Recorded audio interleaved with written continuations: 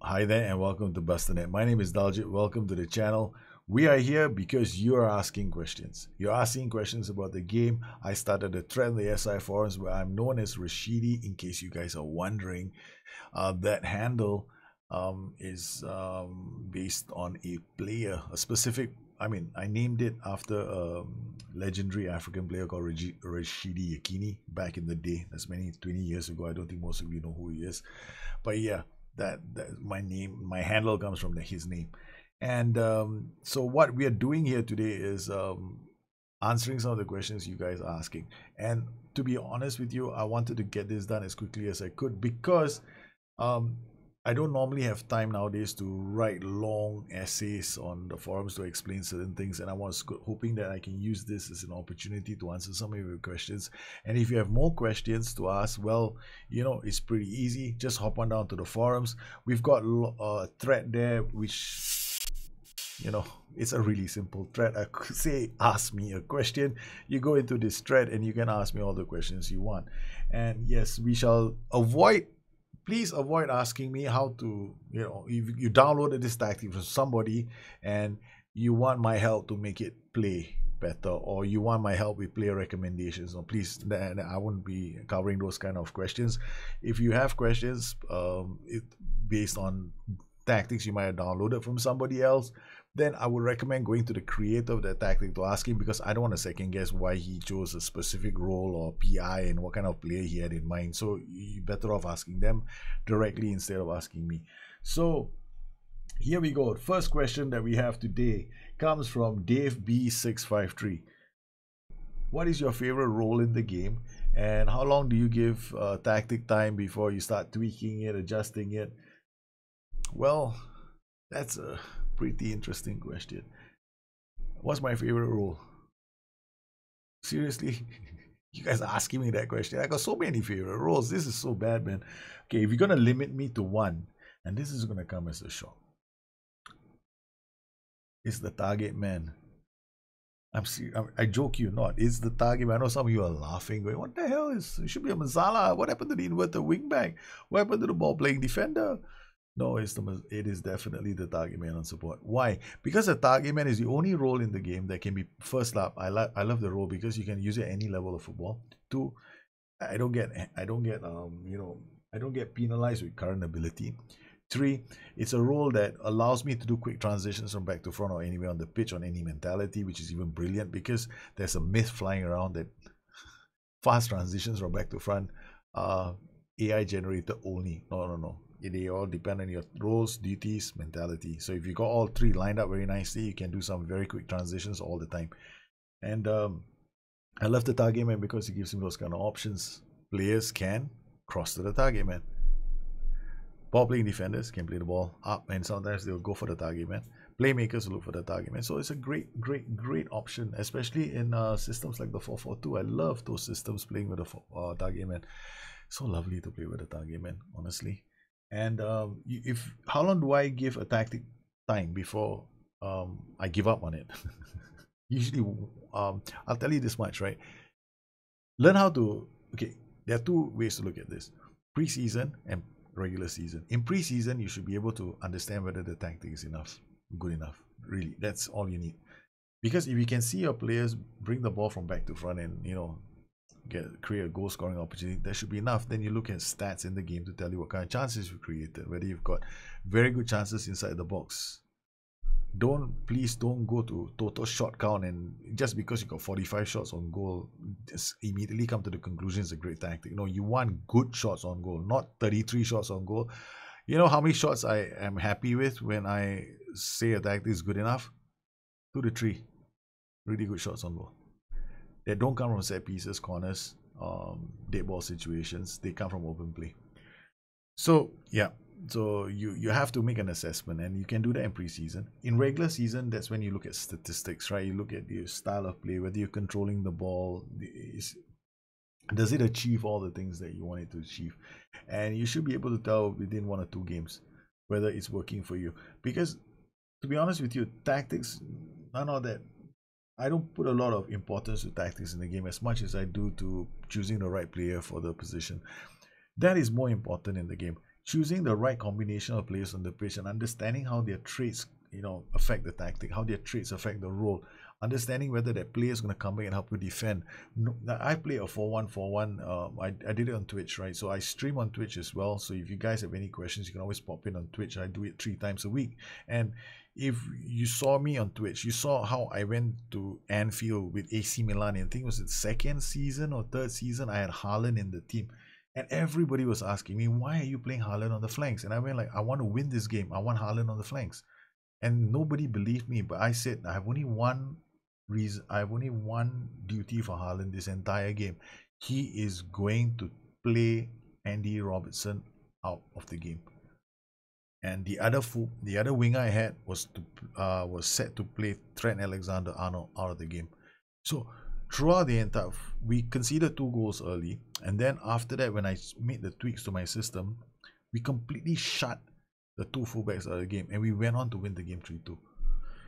Here, though, it wasn't a question of my tactic changing. It was me understanding what I can do with my players. So what I did in that game was I got Haaland to track back and follow Andy Robertson everywhere he went. So it might have killed a bit of the attacking um, output from Haaland, but it sent it, it destroyed Liverpool's attacking output. So Liverpool couldn't attack me anymore and we went on to win the game. I repeated the same thing two seasons ago. I kept doing it the same way. So here, it, it's not really your tactic. It's understanding how your tactic is playing. That's really important.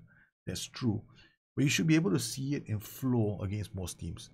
But once you meet better teams, then it's a question of how you can understand team instructions to actually extract maximum value from your tactic. How do you shut the game down?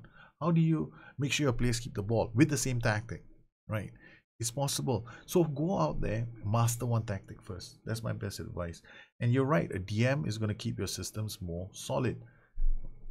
But you shouldn't have to spend six games, seven games for your team to come good with a tactic. I know there's such a thing called tactical familiarity, but the penalty isn't that high.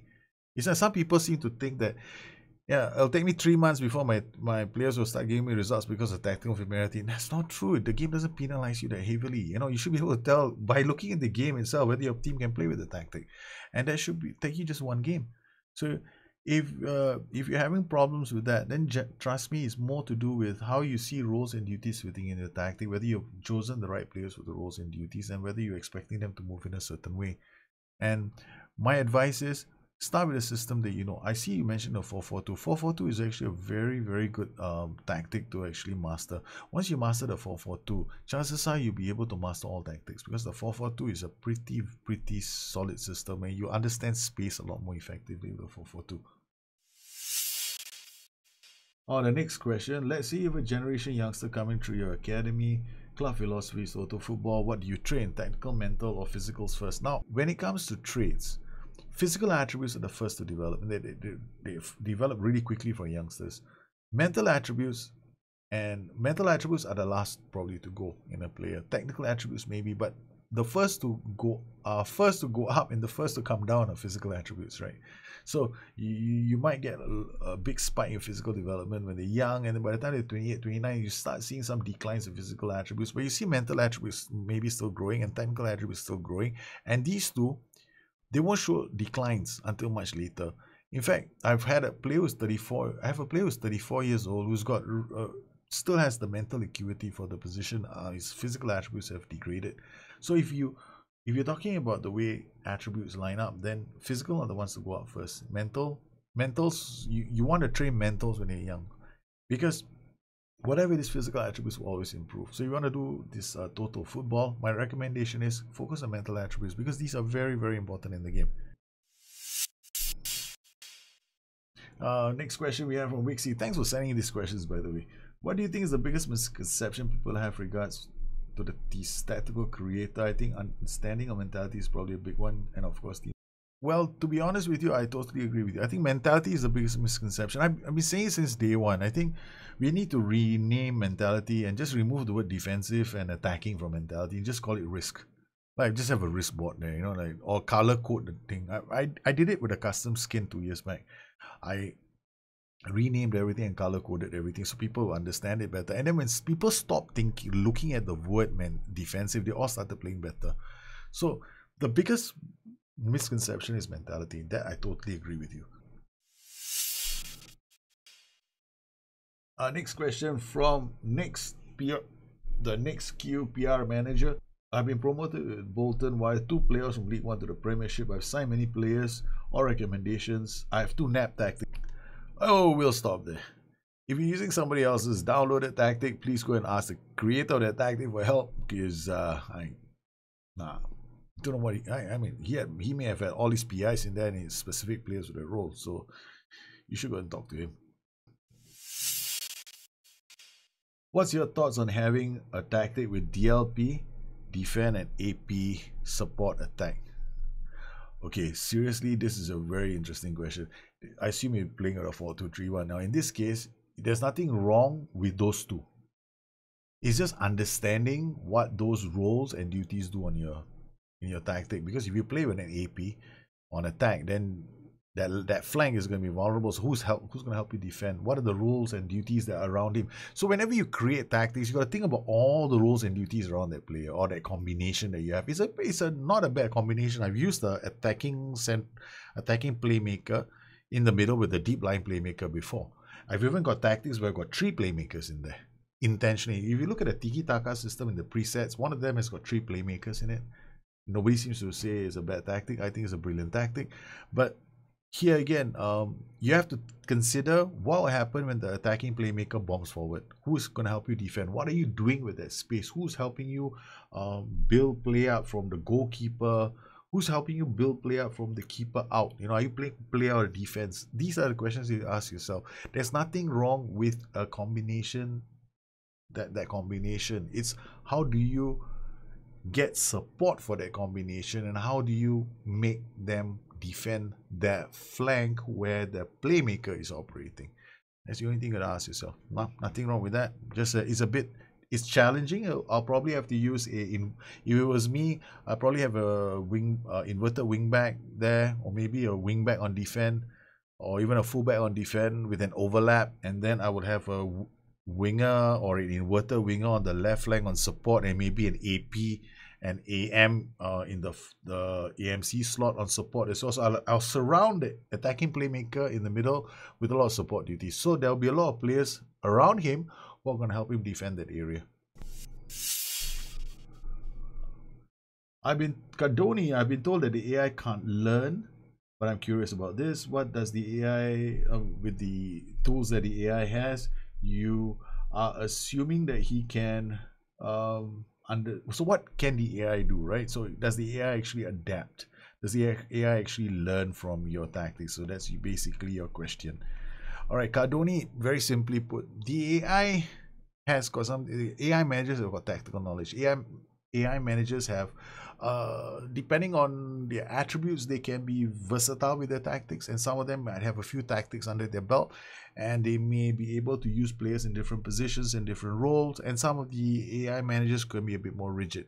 AI managers always have a game plan. They go into a game and they will look at the situation and then make assessments based on that, and they will um, ad- um, they will adapt to the situation in the game, not to your tactic. Right. So if they're one goal down, they might change when going on attacking duty.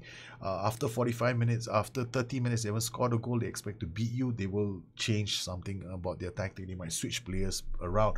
So it all depends on the attributes of that particular AI manager. But does it adapt based on your tactic? That means you are playing overlaps. It knows you're playing overlaps, so attack you on the flanks. Now, I have asked that to be included in the game many, many times. Many, many times since the day we had ADA, we had that kind of AI manager, I've been asking for an AI that would play chess with me on the pitch. If I decided to go down the left flank and attack it on the left flank, then I wanted it to counter me down my, you know, counter me down that same flank. So that means if I'm putting all my eggs in one basket and I'm going like with attacking wingers and I've got my fullbacks overlapping and I'm leaving lots of space. I wanted the AI to pass into space and hit early balls. Yeah, but the problem is when we reach, we give the AI that kind of complexity, what's going to happen is this. None of us are going to win. and we're all going to, going to be people screaming that the match engine is broken. And as I do not want to make the game that difficult. So I would no, the AI doesn't adapt that way. It just um, adapts to the scoreline or any other in-game events that might might have happened. So no, Cadoni does not do that. Anyways, to stop conceding a ridiculous amount of set piece goals, I've conceded 44% of my goals from set pieces. I've tried set piece training routines and it's destroying my immersion in the game I love. Preveza, can I show you my game? Oh my goodness. Well, um, I didn't concede one single goal from a corner the whole of last season. Right? I rarely concede goals. When I set my tactics up, I rarely concede goals from set pieces. Now I know there are a lot. The problem in this game is actually not conceding. It's not the conceding goals bit. For me, the problem in the the game is actually attacking set pieces. Right. So attack. It's easy to score from attacking set pieces. It's very easy to defend from defensive set pieces. The problem is attacking set pieces. Now, um, why do I say that? Like you you won't find that the AI is always marking or setting up its set pieces uh, consistently, right? So some matches it will not be defending a far post, some matches it will not be defending the near post, some matches it will be playing differently. So there are things that you can do in the game to make yourself stronger from set pieces, and it is about choosing the right players to mark the right positions. Now, um, I, for example, don't have anybody marking posts. I don't I don't understand why people are doing that in the year 2020. Nobody does it anymore. I mean, you don't need to play put players on posts anymore. People have them. So if you're using the default set pieces, you gotta change them. Um, the other thing is this: a lot of people they seem that they seem to think they're marking the far post when in reality they aren't really marking the far post. They're marking in the inside of the far post, not the outside of the far post. Um, the other thing uh, as well is um, the wide free kicks, right? The wide free kicks are a bit of an issue, right? That, that one, that one I do admit, right? So I normally have uh, to put somebody on the far, marking the far post as well, because if the wide free kicks, they can be delivered in such a way that uh, if um, they will come, there'll be a player coming on the on the far side unmarked. So you have to have somebody marking the far post area. Then you've got um, the deep deep free kicks are another one. You have somebody marking the far post. And then when it comes to your set pieces, right? Who do you who do you place on the pitch? There's a logic in who you position when you're defending your set pieces. There's a the best jumper at near, best jumper at far, right? You gotta have two at least two players at the edge of the area with very good anticipation. They have to be able to shut down the long shot. So there are I've done set piece guides as well. So you should you should take a look at some of them, but it is very possible to defend from set pieces. I mean, I went an entire season without conceding one from a corner. And the AI also went an entire season without conceding one from a corner, which is kind of which is which was kind of cool. Yeah.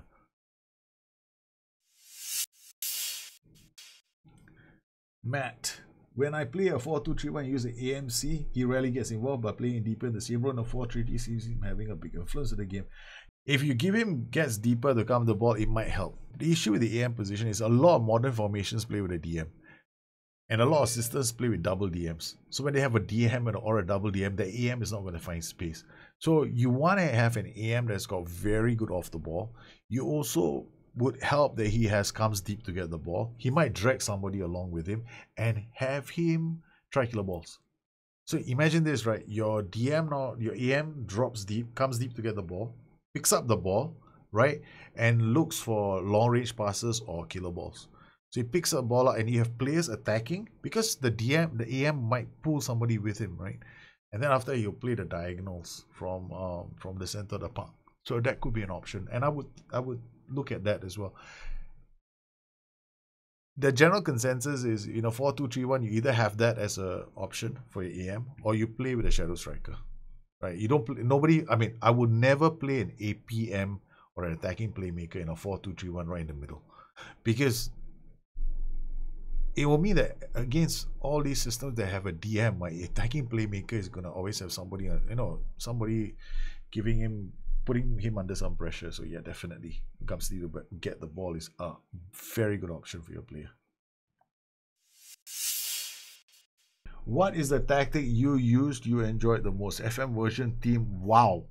Holy guacamole, that's a lot of tactics you're asking me for. King Jericho, that's really a trick question, man. What am I supposed to, how, uh, if I give you, I've been playing this game since 1990, right? So that'll be a lot of tactics. a lot. Scramjet? Anybody remember Scramjet? Yeah, one. It's the best tactic I have ever created, which which scored 85 goals in uh, I think one my strike one of my strikers scored something like what I, I obscene. Uh, you guys still remember?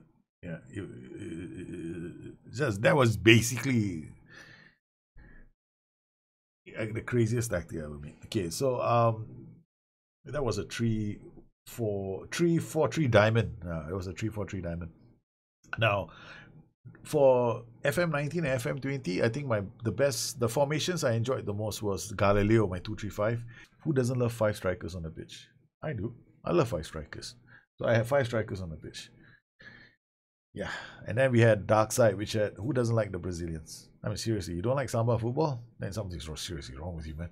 Okay, four to do the double DM. I had my I had my samba football going all the way, so that was a lot of fun.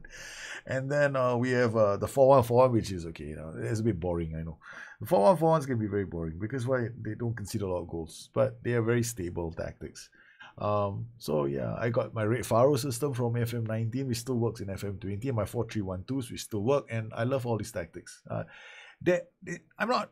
There are some issues with this game. There are definitely issues with this game. And I find that we need to improve the game. The game has to make big strides in the next uh, edition, right? Yeah.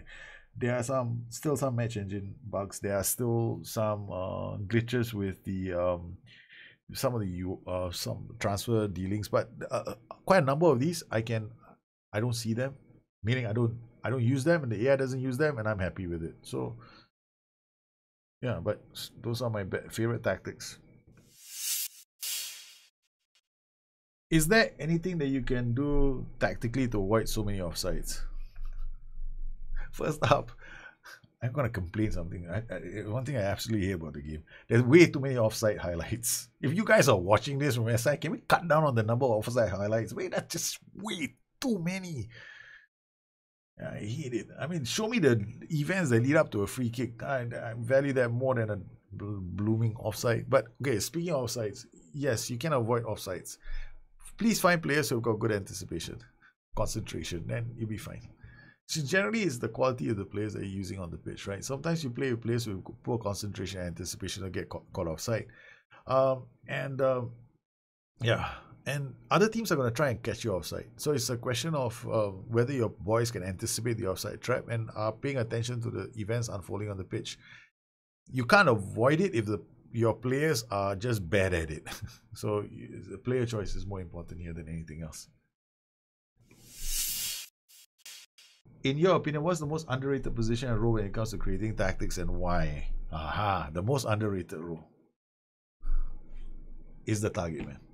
It is the one that most underrated role. I rarely see people using the target man. The target man is easily the most versatile. It's like the piece in the puzzle, right? That gives you the most options in a tactic. But a lot of people don't seem to see that. I, I love the target man. I think it is the most underrated role because you can have really fast transitions on any mentality with a target man. See this, put a pressing forward up there, tell me you can get the same thing. No way. But with a target man, you can. You know, target man, I, I can, I can, and I have options, right? If I have a target man, and then if I wanted to, uh, I want to like um wind down the clock, so to speak, right? I can I can take one of my defenders, just stick him up on the pitch, turn him into a target man, and play the balls to him. He holds out the balls, we play for set pieces.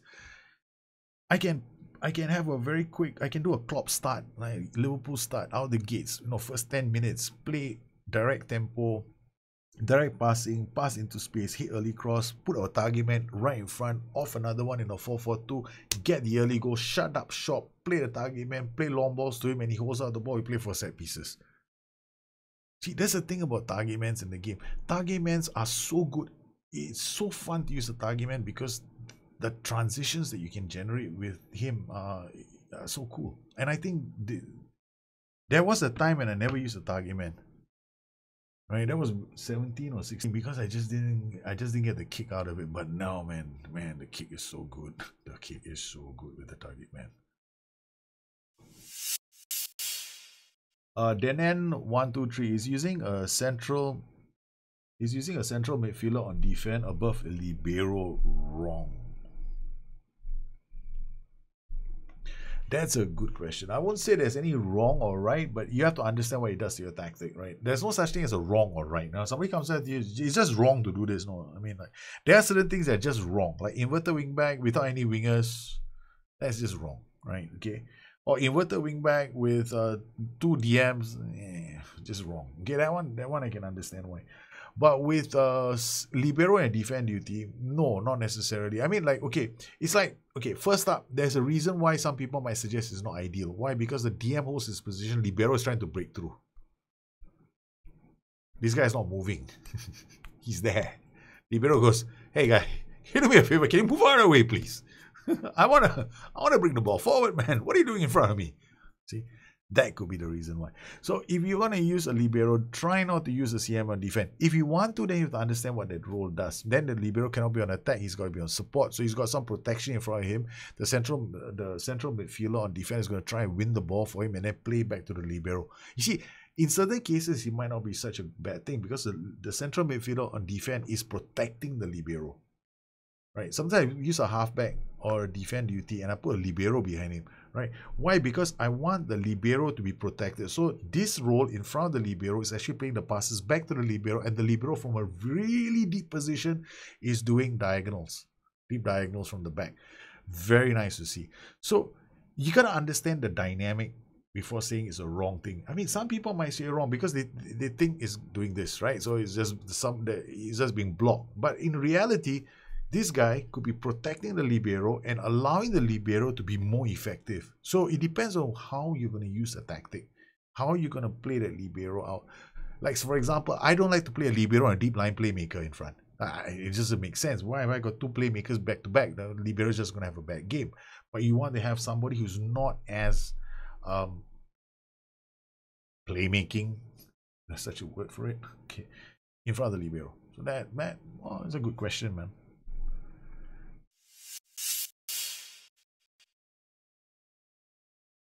Yonko, I'm still a bit unclear. Be more expressive. Which players does it affect exactly? Are there specific positions or, or role affected? Some more or less. It allows for more freedom movement with the ball. Correct. Um, okay. The TI be more expressive is creative freedom one, right? So it, it it's basically like this. Okay. Okay. Um, be more expressive is like when you have a bunch of players who might be limited in their decision making and you're trying to get them to express themselves more, you're telling them to think outside the box. Right? So you're trying them you're telling them to do something more. Now imagine you have a very, very good team with a lot of decision, very a lot of players could make good decisions, a lot of players with good vision and flair. And now you tell the team to be more expressive. Yeah, it's only one slight problem with the latter example is because sometimes you, you, you, they don't know what to do. They got so many options. It's like you know, I'm Lionel Messi. I got option A to option Z. Now, which one do I take?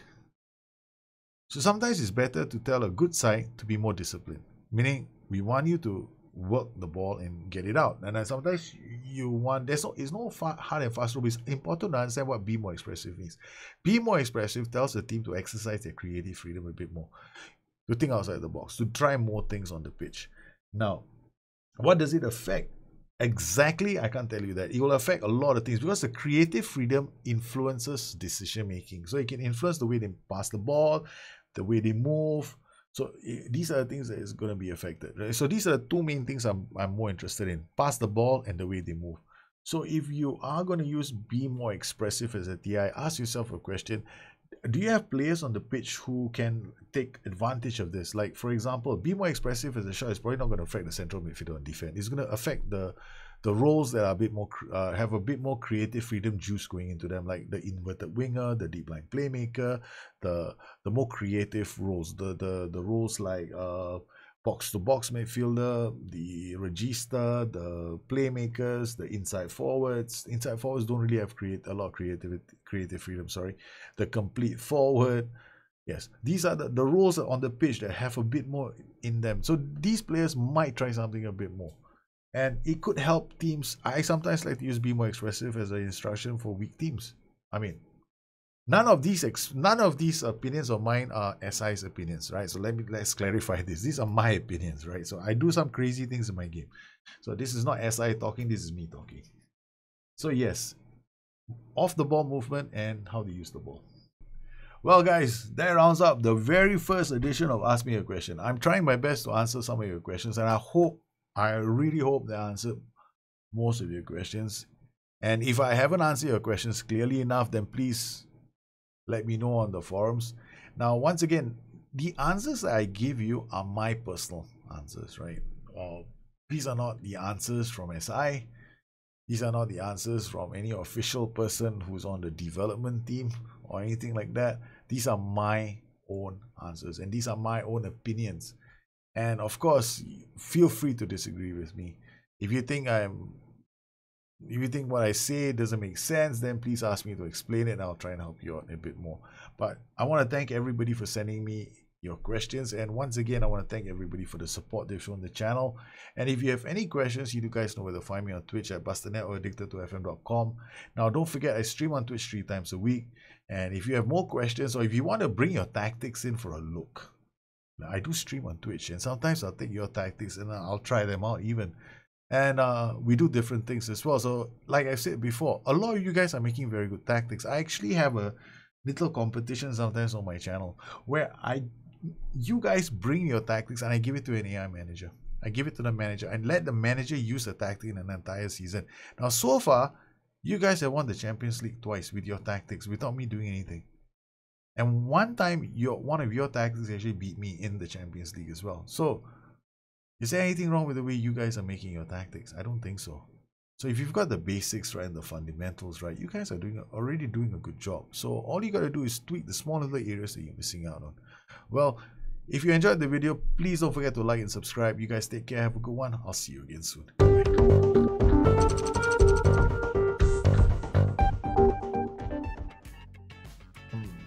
But with this team, they are reasonably good. We've got to distribute the fullbacks. I want to see how this team does with this instruction because player defense, have got so many permutations right now. So would you recommend? No, I wouldn't even recommend. If you want to learn the game, don't play with a mid-table team. Don't. I would recommend taking a good side. The reason why I recommend taking a good side, right, is because you want to rule out attributes as the reason why you screwed up.